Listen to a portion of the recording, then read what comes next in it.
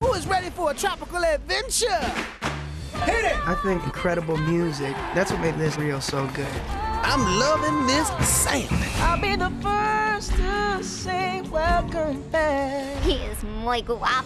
Come on! Every time you hear those drums, you know something fantastic and magical is gonna happen. It's gonna be next level. It's on in the Amazon. Rio 2. You guys are late. Clock late. But musician early.